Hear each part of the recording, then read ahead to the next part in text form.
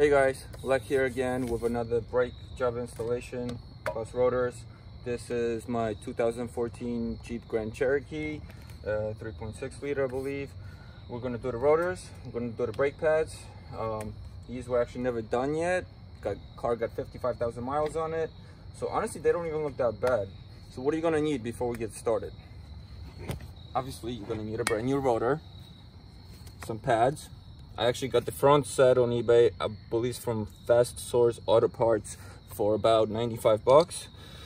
So can't beat that deal. You're gonna need a couple little screwdrivers, something thin like a pick with a hook maybe to remove the seal that's up here. I'll show you guys that in a minute. You're gonna need a hex socket. Uh, I believe the car needs a 12. Uh, I didn't have a 12, so I'm going with a 10 it should fit you're gonna need a 13 16 uh, socket head um, to remove the caliper housing of the rotor uh, some brushes to clean the uh, rust off brake cleaner. You want to clean the rotor before you install it there is grease on it. Um, flathead screwdriver a hammer for the stubborn parts and some brake lubricant disc brake quiet, possibly gloves, rags. I'm not gonna use gloves, but always recommend it. So let's get started. So like I said, first we have to remove the seal over here. If you don't remove the seal, the road is actually not gonna come off. So I'm gonna take my little copper brush here. Get all this gunk off. Now I wanna get in here.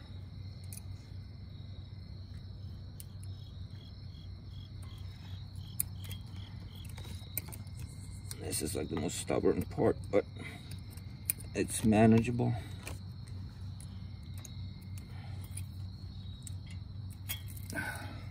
So save this because you're going to need it for later. You want to clean it up a little, wipe it up, whatever. I'm to put it right here.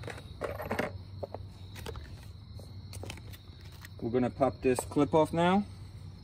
And how you do that, take your screwdriver, wedge it against it. See how I'm pushing it in? And just slide it right out. So we're gonna save that for later. Now we're gonna get back here. Uh, take your little flathead screwdriver.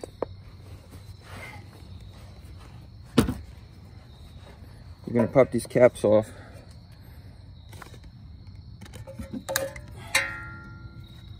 And then there's one on the bottom. I just popped that off right over my hand. So that's what the hex is gonna go for unscrewing. But before we do that, we're gonna get in here with your flathead screwdriver. And we're gonna push the piston back into the caliper using the old brake pads so it's easier to install the new pads later they are going to be bigger so you're gonna need more space. There's compression tools to do this which i don't have. One thing you can use if you don't do this part right now with a screwdriver you can use a c-clamp and a piece of wood and you'll compress it that way.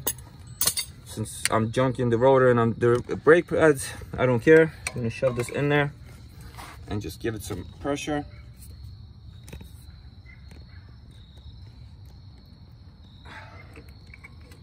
Push it this way a little bit. And and this bit will be good. If you want to now check it out in here, you got all that space. So now we should be good to remove uh, the first section of the caliper housing, which we're to do with this guy. So hex nut, there's to be one here and one here on the bottom.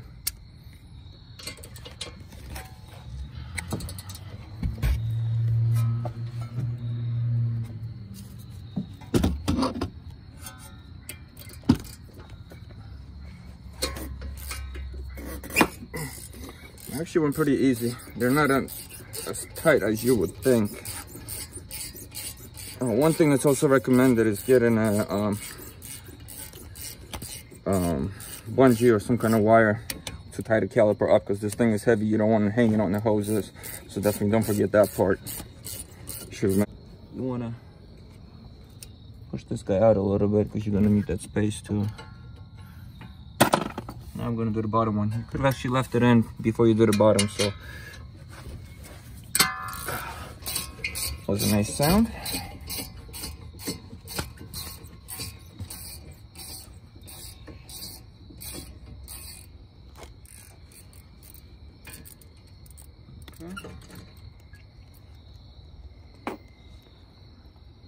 So I got my bungee. I'm gonna pop this guy off right now.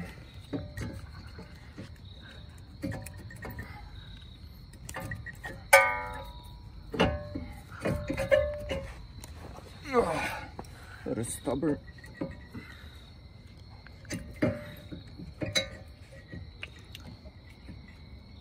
There we go. So this is the old pads over here. 55,000 miles, they're not bad, but yeah, this definitely has to be changed. You can feel it's not smooth anymore. It's definitely below five millimeters. So we're gonna pop this guy off. Yeah, you wanna clean all that up in there.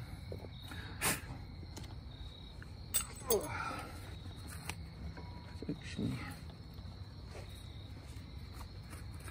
I'm gonna grease this up before we put the new pads on. But for now, I'm gonna hang this guy up.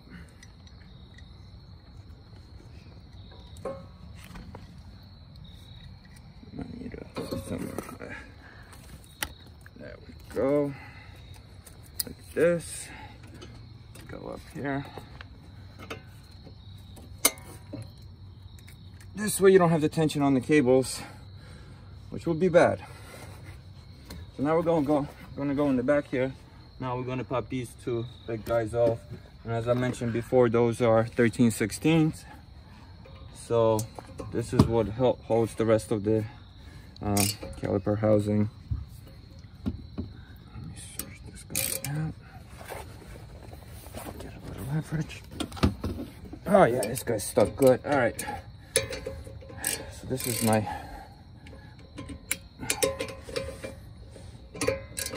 trusty hammer for the big jobs.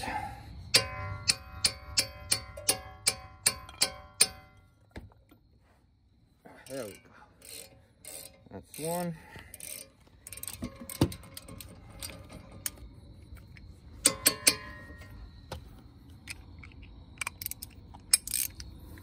So for the second one. Oh, that went pretty easy.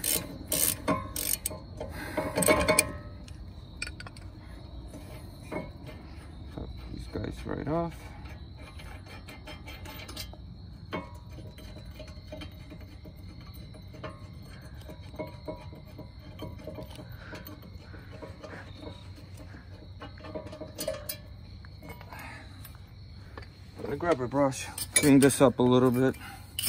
Actually doesn't look that bad. Smaller brush actually. And wherever there's gonna be the new pads, you're gonna put a little grease just to make sure we don't get any squeaking.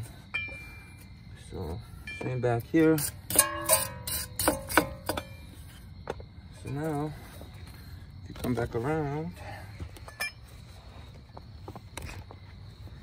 we're gonna pop this guy off. So sometimes, especially on older cars, these can be a little stubborn. All you do is give it a tap, tap, tap, tap, and it should go. It didn't, so we'll go again. There we go.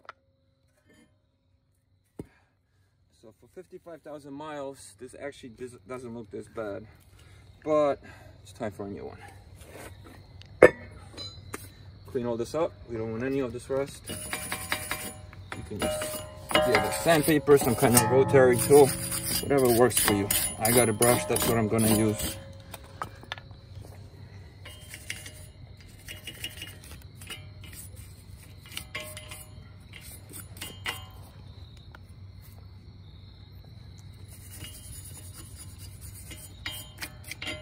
Just to get the main rust off so got a nice clean connection.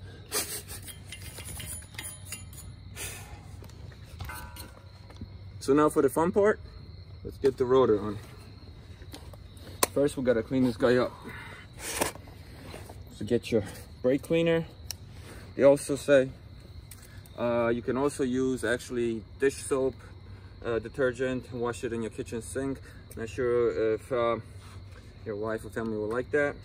So brake cleaner is a great uh, thing to use, which I think almost every mechanic does. Just spray it all down.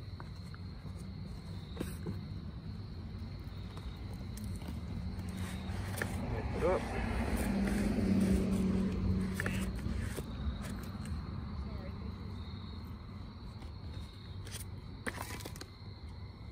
Other side.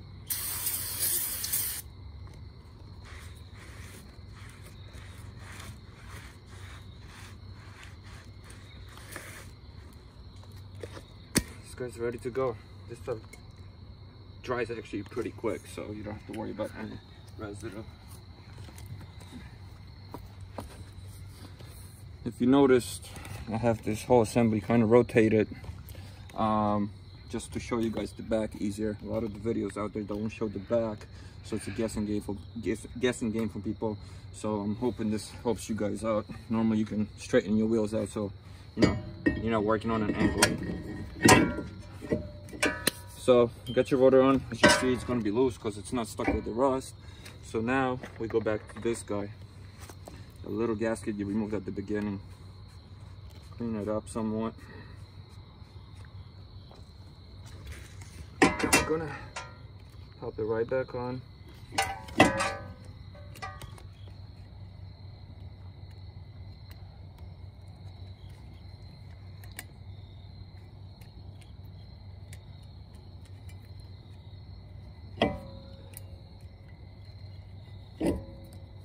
There we go. And that's holding your rotor in place for now. It's not the actual thing that's holding it. So now we're gonna put this guy back on. Same process, just in the reverse now. Oops.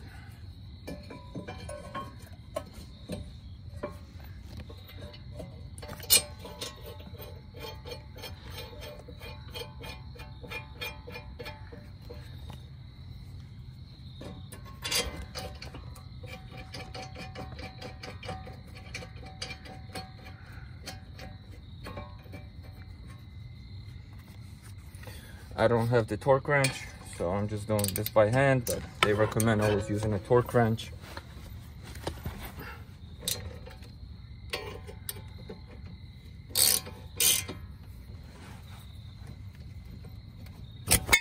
Oops.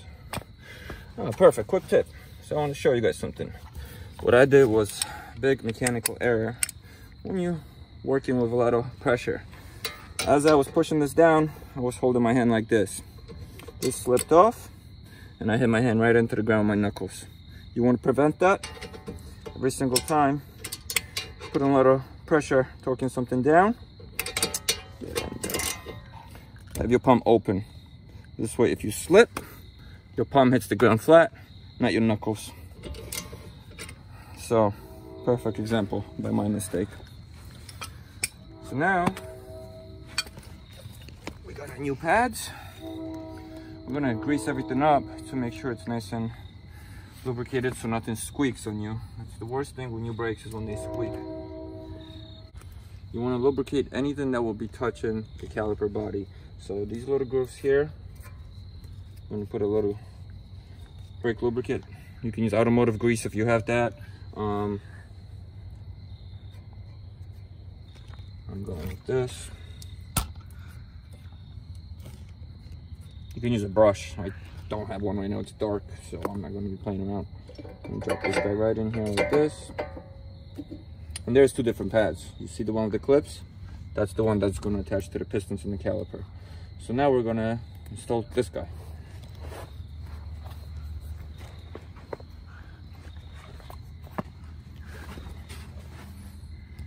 We're gonna lubricate all this stuff that's gonna be touching piston.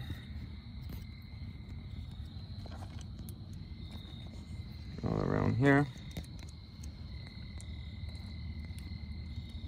This is to prevent any squeaking, which is caused by vibration when you're braking or even just driving. So let's get caliper back down.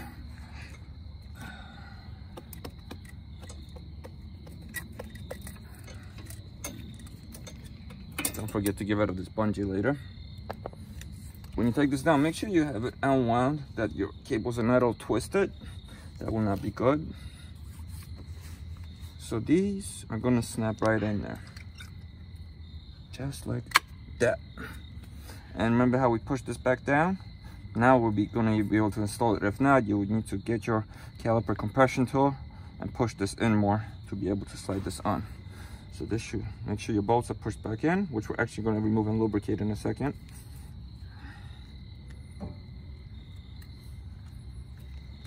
This should just slide, oh wait, I'm sorry, I'm not going to do that yet.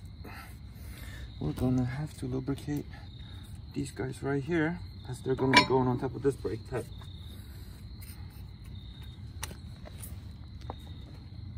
So a little bit here, there, and a little bit there. Now we shoot the bolts out of your way. And this will slide right on. Perfect. I'm gonna take these guys out. Put just a little bit of grease on it. As these are moving parts.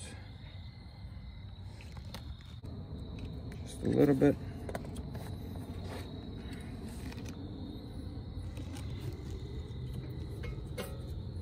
Now just tighten them back in. And you don't have to go super tight. Obviously, if you have a torque wrench, use that.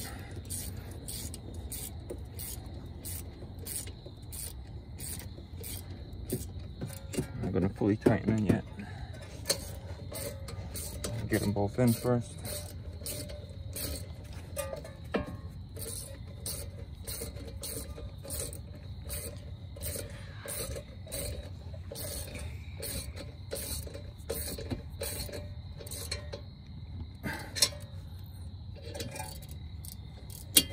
Tighten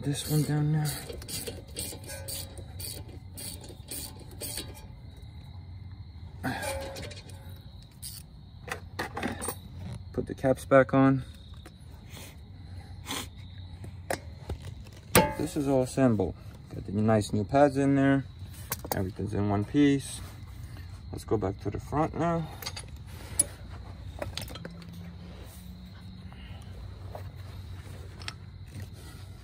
One last thing we're gonna do is put this clip back on. So just like with any moving parts, we're gonna lubricate any parts that are gonna be touching the caliper assembly. A little bit here, a little bit here. Bottom, push it out. And now just pull it back in. And that's it. Make sure it's nice and snug. And this is not going anywhere. And that's it. You just installed a rotor on a 2014 Jeep Grand Cherokee. I hope this is helpful for you guys. Uh, next, we're gonna do the rear, which uh, video should be coming soon. Uh, we also have a recent video we did for an oil change for this car, which is a little different than a standard sedan. So check that out. Uh, please subscribe below, like, set that bell up, and thanks for watching. Not to mention, let's pop your hood open and loosen this guy up, your um, brake fluid cylinder, uh, just to relieve the pressure when you're gonna be pushing back the pistons. And don't forget to tighten it back up once you finish the job and then you can pump your brakes to tighten everything up.